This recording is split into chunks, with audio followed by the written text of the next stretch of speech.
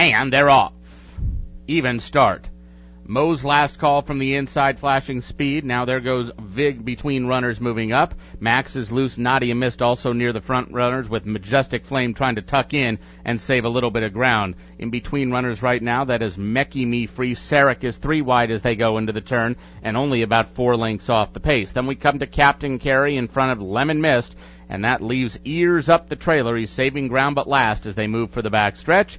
The field is covered by a dozen lengths after a quarter of 24 and 1 and Vig shows the way under Roy Chirinos. It's Vig showing the way. He's got it just under a length right now. Max is loose, gains on his outside. Room at the inside for Mo's last call, and also right there is Nadia Mist a joint third and just two lengths off the lead.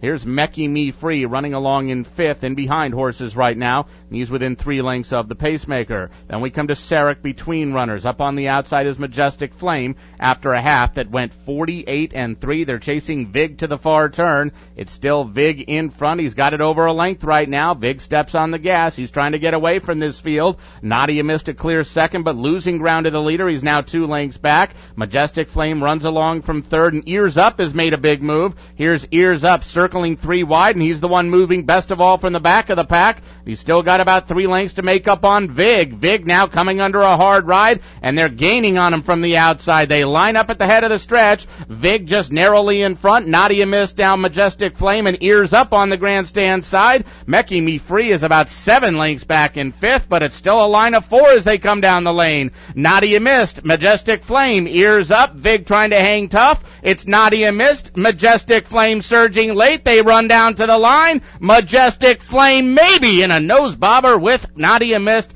Majestic Flame, Nadia Mist very tight on the line.